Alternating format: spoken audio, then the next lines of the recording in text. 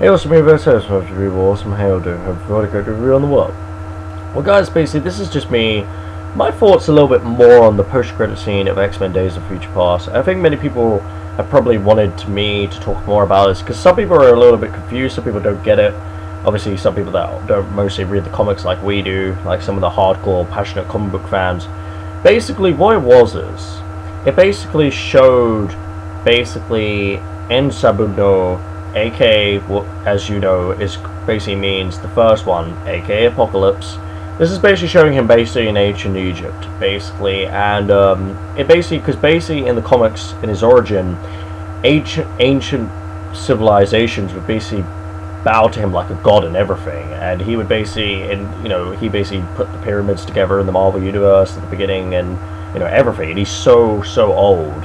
Apocalypse as you saw, there was a cool touch with the, the Horsemen in there, and they're basically teasing that the next movie is Apocalypse, and basically, you know, I am uh, very, very obviously excited for this movie because I liked X-Men Days of Future Past, a great movie, and uh, yeah, very excited for X-Men Apocalypse.